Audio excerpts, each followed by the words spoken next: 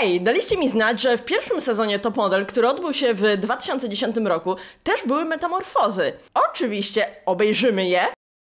Pamiętając o tym, że później w drugim sezonie to był trochę sezon masakracji. To był ten sezon, gdzie były te wybielane brwi e, i te fatalnie photoshopowane zdjęcia. A trzecia edycja z kolei była taka mega nudna i mega spokojna. Praktycznie nic tam nie pozmieniali, jeżeli chodzi o włosy uczestniczek. Tak więc zapraszam Was dzisiaj na pierwszy sezon. Zobaczmy, od czego to wszystko się w ogóle zaczęło. A oczywiście, jeżeli jeszcze nie oglądaliście kolejnych e, części, kolejnych sezonów, to drugi i trzeci już są nagrane. A jak najbardziej będę kontynuować tę serię do najnowszych sezonów, także zostańcie ze mną i zaczynamy. O, nie zasnę dzisiaj. Gratuluję Wam dostania się do programu. I dzisiaj mamy dzień metamorfozy. Niektóre zmiany będą małe, niektóre dosyć drastyczne. Ale wszystkie będą miały na celu wydobyć z Was to, co jest najładniejsze i najciekawsze. Ania Rubik, w ogóle super. W pierwszej edycji była Ania Rubik. No to du duża sprawa, ale widać nawet po niej, że to był 2010 rok. Głównie przez ten makijaż. No wiadomo, ja tutaj nie biorę pod uwagę makijażu, ale włosy. No ale widać, widać ten 2010. W świecie mody nie można po prostu tu przyciąć, a tam zmienić kolor. Nasi eksperci długo debatowali nad metamorfozą dziewczyn. Dobra, kochani, mamy 13 pięknych dziewczyn. Bo na razie są takie zaniedbane. Dobra, Marta, jejku, ja ją uwielbiam. Ona taką ma osobowość niesamowitą i też ten uśmiech, taki śliczny ma uśmiech. Tutaj oni chyba chcieli faktycznie upodobnić polską edycję do zagranicznej na zasadzie one są zaniedbane, a my im pomożemy wydobyć ich piękno. Co ma, ma sens. Zobaczymy, czy im to wyjdzie. Słuchajcie, a weźmy ją, ciachnijmy. No w ogóle na krótko, na, ciachnąć, na chłopaka. Trzeba, jej trzeba Nie, absolutnie te ją na włosy, chłopaka. bo ona ma, ma To są sztuczne sztuczne włosy. Sztuczne włosy? Głupota ludzka nie zna Okej, zdejmowanie doczepów. Ja jestem jak najbardziej na tak, y, chociaż oczywiście po zdjęciu doczepów te włosy będą w gorszym stanie. Wiadomo, y, tutaj one widać, już były trochę jakby odrośnięte i w tym miejscu, gdzie te doczepy są założone, co by się nie robiło, jakby was nie przekonywali do tego, że to nie szkodzi włosom, doczepy zawsze szkodzą włosom. A najbardziej szkodzą, y, szkodzą wtedy, kiedy są za długo noszone, kiedy za bardzo obciążają włosy, bo wtedy włosy są obciążane już przy cebulkach i po prostu włosy się mogą nawet przerzedzać. No mieliśmy już takie przypadki chociażby na grupie Włosing, dość drastyczne zdjęcia, więc jak ktoś będzie e, sprytny, to sobie wyszuka. Ogólnie bardzo to szkodzi i no wiem, że dziewczyna może być załamana, bo skoro sobie przedłużała włosy, to wiadomo, że te krótkie jej nie odpowiadały. Zobaczmy jak to wyjdzie. Słuchaj, że sobie zrobiłam takie głupcze. O, dzięki wielkie. Za to, że przedłużyłaś. mogę trochę? Zła jestem na siebie, no, że z... głupoty zrobiłam. Te moje długie włosy to były zrobione na potrzeby pracy w klubie, żeby być bardziej zauważalną, rozpoznawalną wśród tego tłumu dziewcząt, które, które tam pracują. No to fakt. Często właśnie dziewczyny przedłużają włosy albo z takich powodów, że potrzebują tego gdzieś w pracy cokolwiek, albo no z tego powodu, że po prostu mają kompleksy na punkcie swoich włosów, gdzie zadbanie o te swoje włosy i zadziałanie chociażby wcierkami, masażami skóry głowy przyniosłoby cudowne rezultaty, tylko w dłuższym rozrachunku. Wiecie, systematyczność i więcej pracy codziennej zamiast jednorazowego przedłużenia, gdzie później takie przedłużenie działa na niekorzyść, niestety, a długotrwałe działanie pielęgnacyjne, no w dłuższym rozrachunku po prostu wyjdzie Wam na plus. Te włosy tak czy siak na pewno poprawią swój wygląd.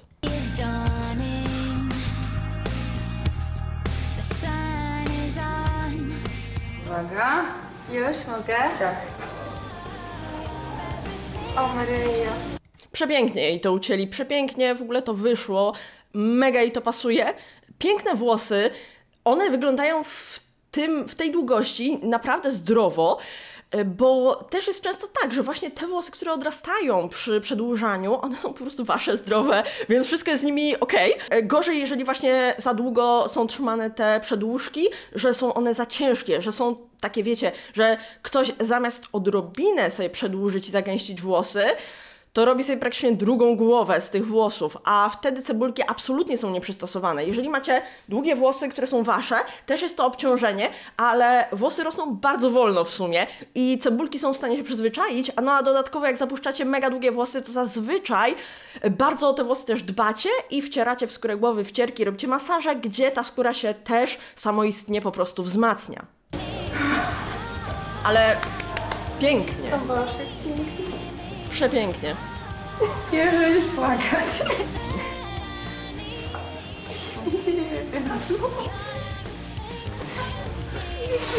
Już się nie martwię o to, że nie mam długich włosów. Krótkich się czuję zdecydowanie lepiej, to po pierwsze. Ja się bałam, że, e, że wracając do klubu, że długie włosy to bardziej rozpoznawalne, bardziej seksowne, tak, czy coś. Nie, nie, nie, nie. Ja teraz się czuję po prostu sobą. Ja się czuję w 100% sobą. Jejku, aż mi się chce płakać, wiecie co, no serio, to wygląda tak pięknie i no o to kurczę chodzi w tych wszystkich metamorfozach, żeby ta osoba była zadowolona. Ja po prostu mam taką głupią empatię, że już mi się chce płakać, ale zmianach dobra, o lecimy dalej. rozpoznawalność Marta może być spokojna. Moja metamorfoza e, czuję, że odmieniła moje wnętrze. Ja się czuję szczęśliwsza, piękniejsza. No i w ogóle jestem happy nad życiem. No Marta po prostu przepiękna, przepiękna figura, przepiękna dziewczyna i te włosy są cudowne. Oni jej tak zrobili naturalnie ten kolor, jakby, no po prostu jakby dzisiaj tak, tak wyszła na ulicę, no powiedzcie, 2010 rok, a wygląda mega współcześnie, jakby, dobra, 2010 rok jakby to była jakaś starożytność, ale no jest przepięknie. Dobra, lecimy dalej, bo ja się rozgaduję ewidentnie. Paulina następna. Ona jest trochę taka sierotka Marysia. Tak. E, I mnie się wydaje, że, że te włosy mogłyby e, jej bardzo dużo dać. Ja bym poleciała w taki styl bardzo glamour. Cały Dobra, Polina Papierska, pamiętam ją, to też była taka drama queen, z tego co pamiętam. Zobaczmy, co tu się wydarzyło. czas jestem taka sama, nijaka, w ogóle się nie zmieniam. Chcę po prostu, żeby zrobili ze mnie jakąś, nie wiem, szałową dziewczynę, y, pełną seksapilu. Nigdy nie byłam u fryzjera. Jak to? Nigdy w życiu? E, nigdy w To jest życiu twój nie pierwszy u raz? fryzjera, Tak. No to zaszczyt dla mnie. Zawsze było tak, że Mega miła ta fryzjerka w ogóle też. Naprawdę, no te kobitki tutaj, nie wiem, bo w tej drugiej, drugim sezonie to był jakiś taki facet, co taki był neutralny, a te babeczki, no w tym pierwszym i trzecim, cudne babki. że e, po prostu mama w domu podcinała mi końcówki włosów.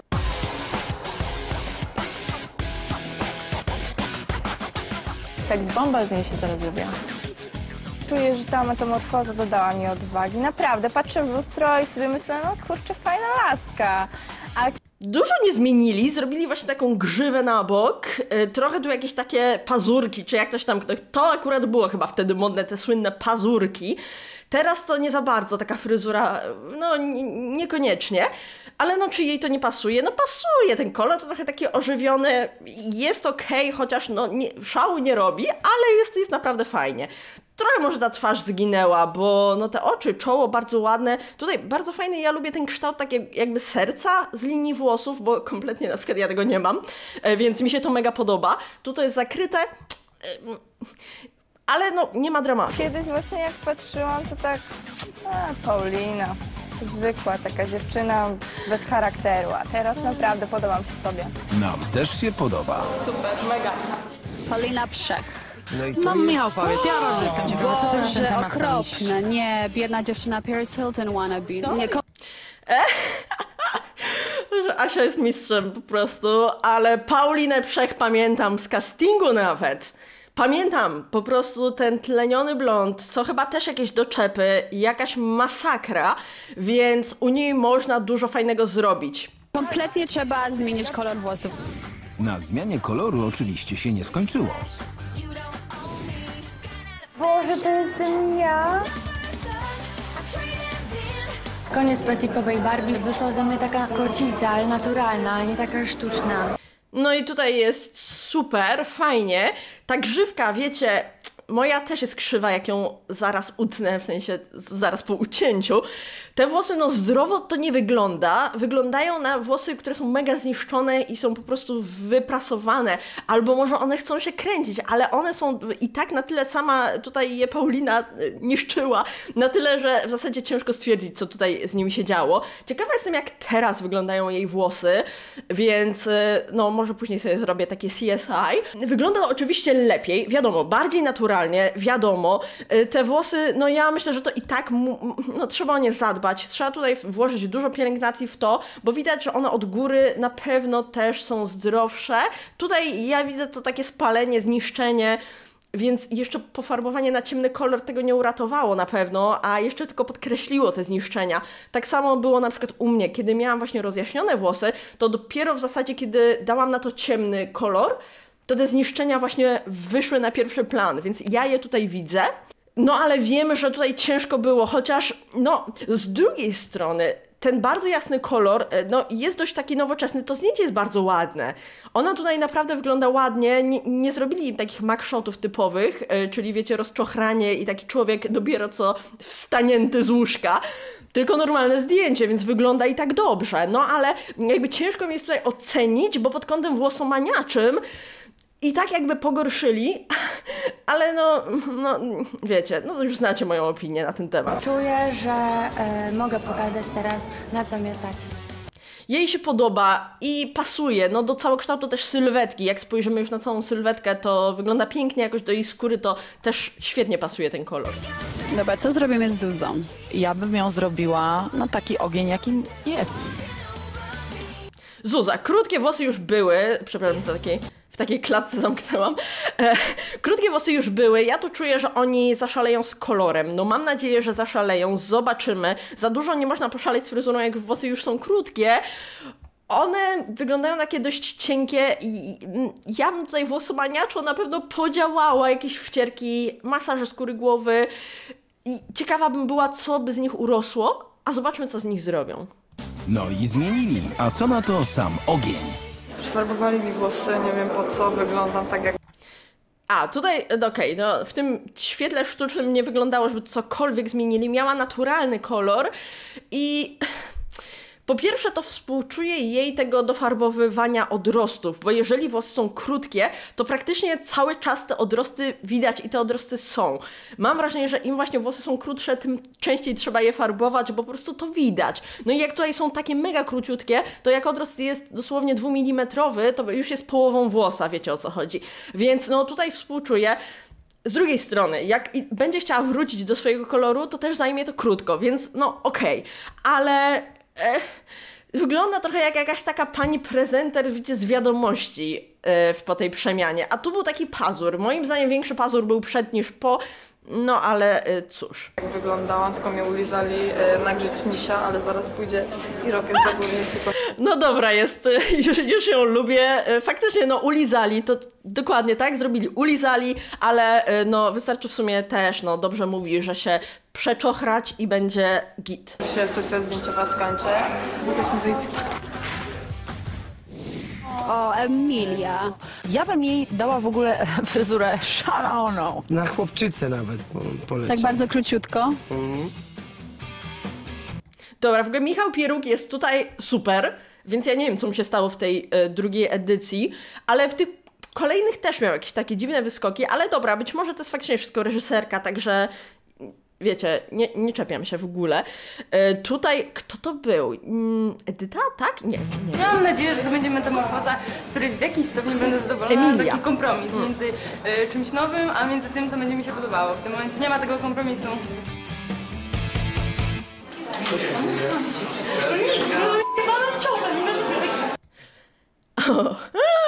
Fryzur i tyle. Robicie coś totalnie odrębnego ode mnie, po prostu jakbym inną głowę założyła. Zetnij mnie do końca, ja się wyjdę.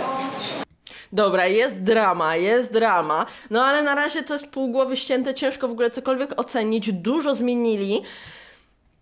Ona ma taką twarz trochę jak królewna Śnieżka, bym powiedziała, e, w tym typie urody, więc na pewno jej to będzie pasowało, bo piękna twarz, no wiecie, jak jest ładna twarz, to wszystko pasuje.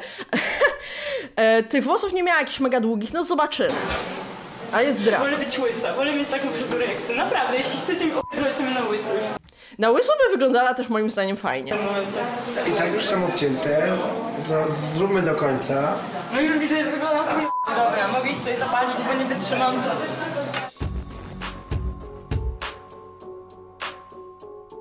Co to jest? Ja pierdolę.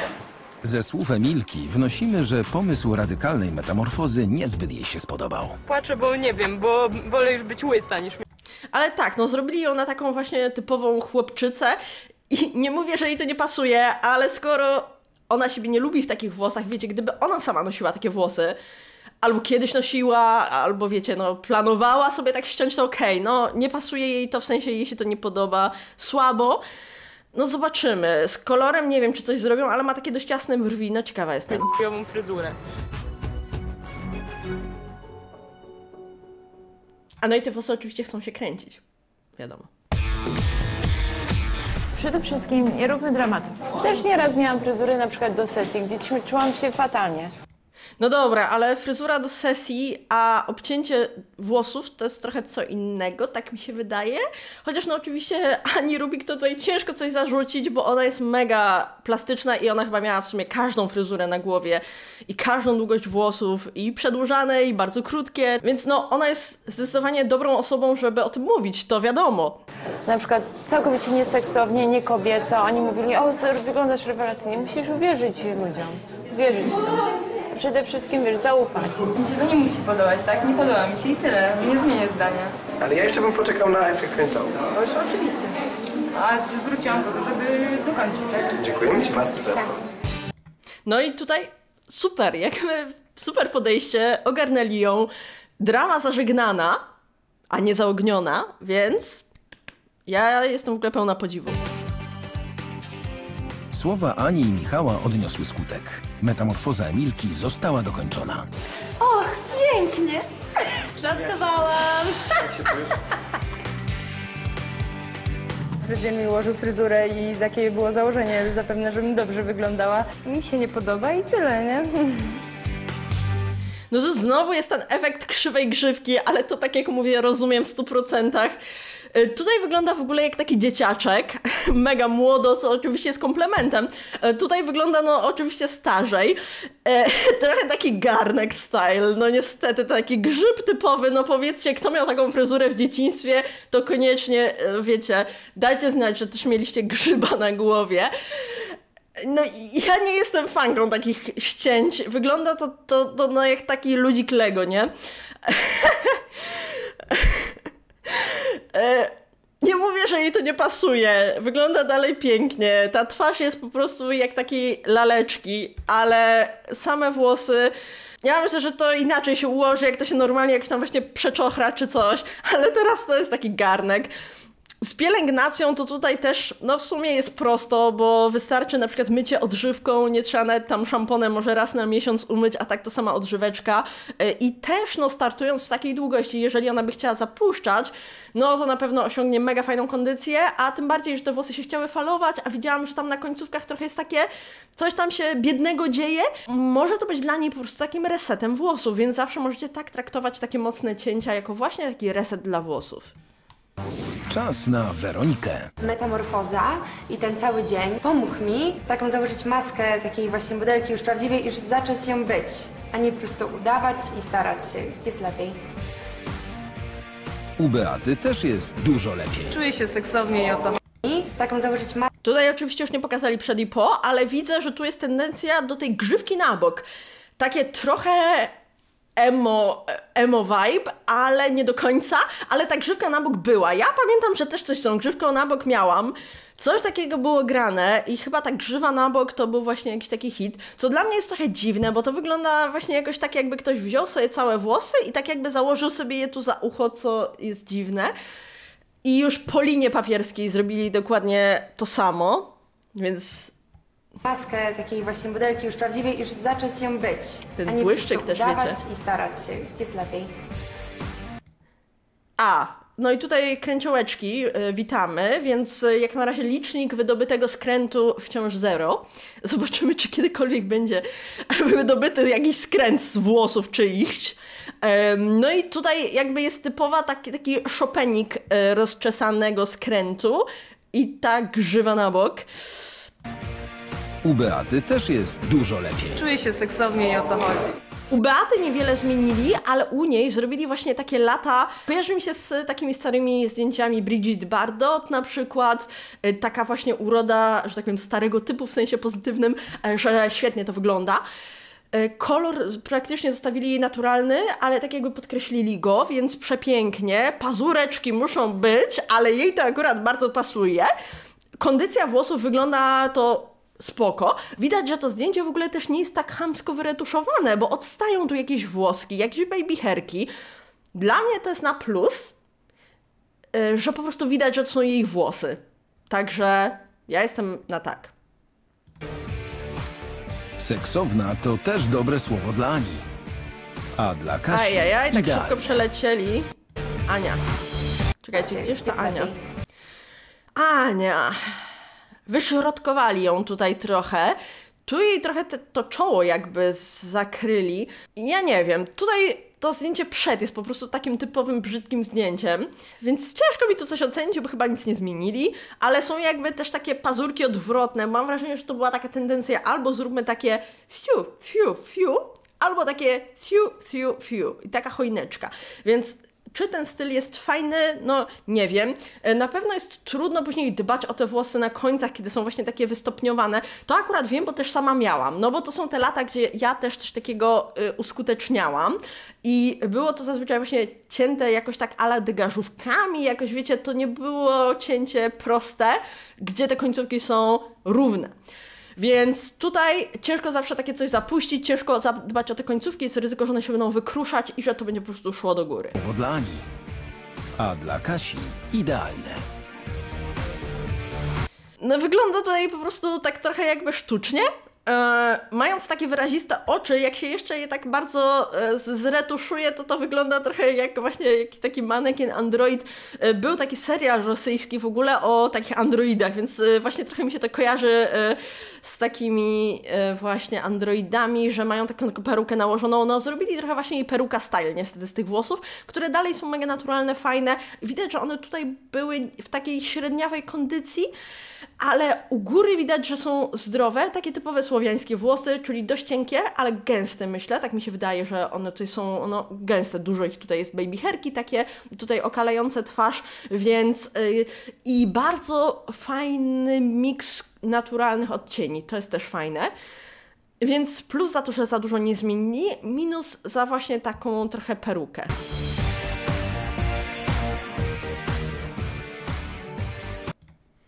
Tutaj em, nie, nie, nie, nie, tutaj nie.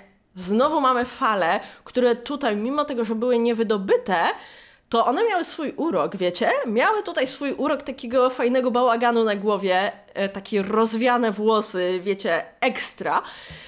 I te pieprzyki, czy oni zlikwidowali pieprzyki na zdjęciu, to jest w ogóle dziwne dla mnie, no ale dobra. E, coś tutaj poszło nie tak i tutaj w ogóle widzę taki też vibe tego trzeciego sezonu.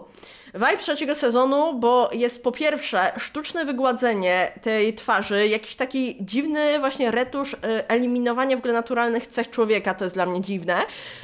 E, No i te włosy, peruka, style. e, Wygląda to też niefajnie. To cięcie na linii jakby środkowej twarzy. Po co to jest robione, nie wiem.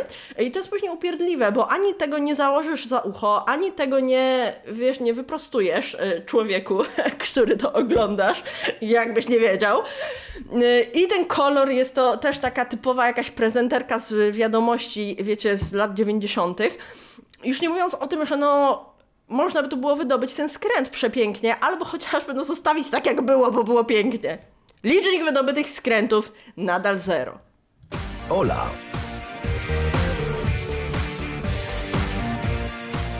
Tu nie widać włosów za bardzo, ale no po prostu jej zrobili też no z koloru wielowymiarowego gdzie tutaj był trochę ciemniejszy, na końcówkach jaśniejszy, co logiczne, że tak włosy mają, to zrobili taką jedną taflę koloru, co zawsze będzie wyglądało trochę sztucznie. No wiem, że też sama mam w sumie jedną taflę koloru, ale w naturalnym świetle to ten kolor jest, wiecie, no trochę inaczej wygląda niż, na, e, niż w takim ha- chamskim, chamskiej lampce. No wiadomo, to nie wygląda naturalnie. Im bardziej trójwymiarowy jest kolor, że różne odcienie przechodzą, to, to, to wygląda lepiej. No i ciężko mi tu ocenić. W ogóle zmienili jakby kolor oczu. Nie wiem, czy to jest, jest dziwne jakieś światło, coś tutaj się wydarzyło. Tu już widzę, że chyba wziął się ten grafik, którego później zatrudnili w tym drugim sezonie. Sonia.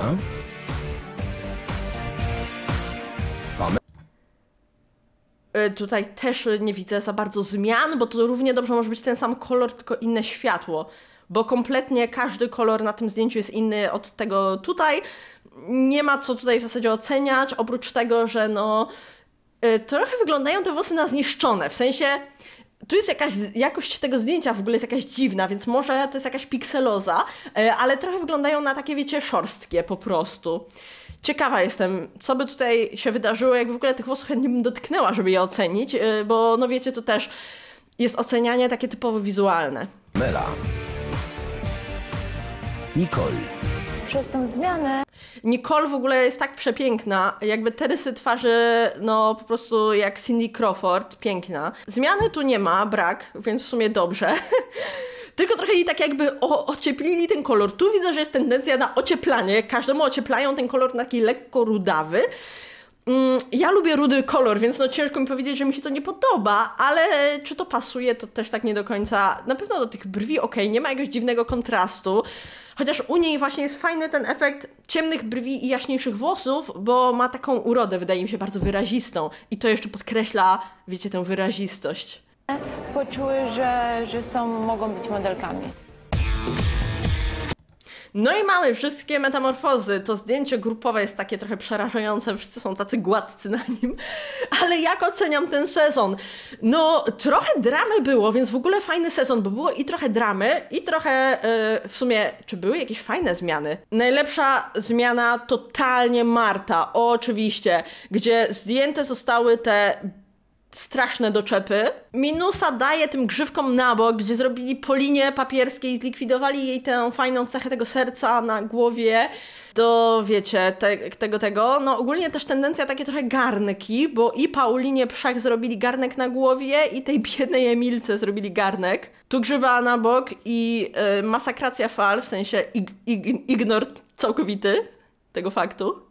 No ale dobra, tu myślę, że Emilka będzie największym naszym polem do dyskusji. Moim zdaniem zmiana jest niekorzystna i jest to typowy grzyb na głowie ludzik Lego. Na pokaz rozumiem, ale żeby taką ścinać włosy i musiał z nimi żyć, to już jest przegięcie. Także tyle z tego pierwszego sezonu. Powiem wam, że no on był naprawdę ciekawy, przynajmniej coś się tutaj działo, nie to co w trzecim. W drugim, no jak jeszcze nie widzieliście, to tam w ogóle była jakaś masakracja totalna ale tu już były przebłyski tego widzę. Ciekawa jestem, co będzie w kolejnych sezonach, w czwartym, no i oczywiście w tych najnowszych, także zostańcie ze mną, dajcie łapkę w górę, jeżeli chcecie, żeby ta seria była kontynuowana i do zobaczenia w kolejnym odcinku. Cześć!